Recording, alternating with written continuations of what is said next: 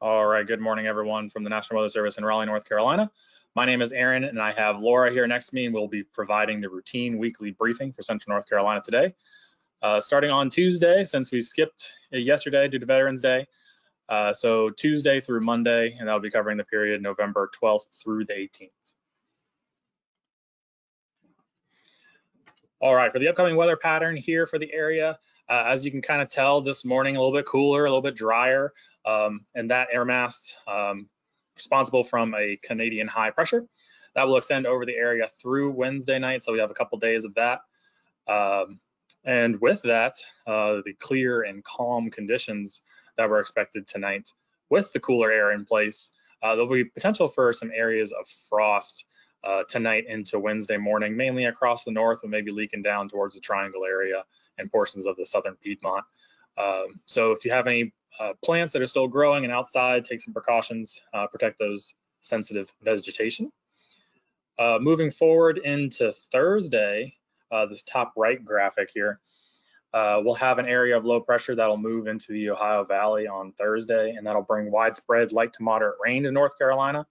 Um, mostly just during the daytime hours, uh, moving towards the coast as we approach like the evening and overnight period. Um, and mostly light to moderate rain there, and we'll get to some details here on that in a second. Uh, and then uh, through the rest of the period behind that system, uh, we'll just have some mild high pressure that builds in through through early next week and keeping the conditions dry with uh, slowly warming and moderating temperatures uh, heading into early next week. All right, so I mentioned uh, patches of areas of frost, and typically we see that at 36 or below temperatures. Uh, so here is a map of some probabilities of minimum temperature of less than 36.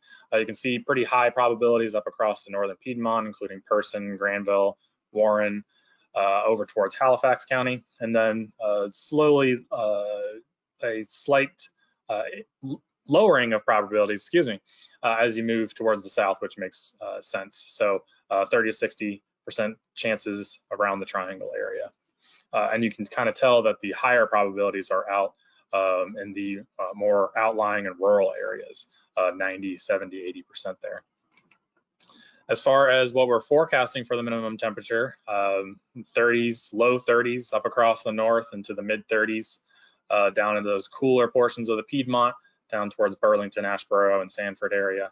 Uh, and then upper 30s uh, to the south of there, um, so not expecting any frost down towards like Fayetteville and Clinton area where temperatures should still be in the low 40s.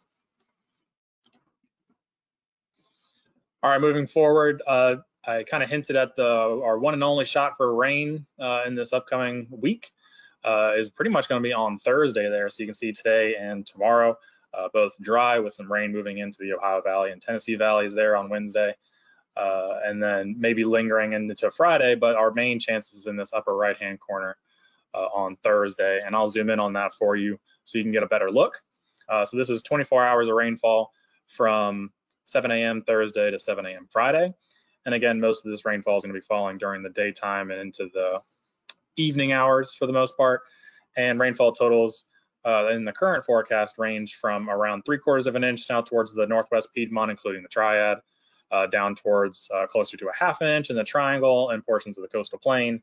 And then farther south down across uh, the North Carolina, South Carolina border, getting closer to that quarter of an inch to half an inch uh, ranges there. And for the most part, those types of rainfalls are not going to lead to any kind of flooding concerns, especially since we have uh, widespread, abnormally dry, and even some pockets of moderate drought out towards uh, the northern and eastern portions of North Carolina. Um, this is, if you had missed it, this is the drought outlook for uh, this past Thursday. So this isn't a new one, so just in case you missed it. But I just want to highlight that there's not really a whole lot of uh, any kind of flooding concerns, especially given the lower totals less than an inch and the uh, mostly abnormally dry conditions across most of North Carolina. So now taking a look at the tropical weather outlook, there's one area of concern and in the next two days, there's only a 40% chance of that to form. And over the next seven days, that increases to an 80% chance. So a tropical depression is likely to form by the end of the week. And after it forms, it is likely to take a northwest turn. Looking at next week, there is an above normal chance of above normal temperatures and above normal precipitation for the next 8 to 14 days. Um, over the next 8 to 14 days, we have a 40 to 50% chance of a, above normal temperatures and a 33 to 40% chance of, of above normal precipitation. Looking now at the experimental graphical hazardous weather outlook, you can see over the next week, the only area we really have highlighted for any hazardous weather is a limited risk of frost or freeze tonight, as Aaron was talking about earlier. So it's mostly in our northern areas that are in the more rural and outlying regions. To summarize, we have the cooler and drier Canadian high pressure over the area through Wednesday night, which do does um, increase the chance for areas of frost tonight into the morning. Um, so make sure you protect your sensitive vegetation if you have any.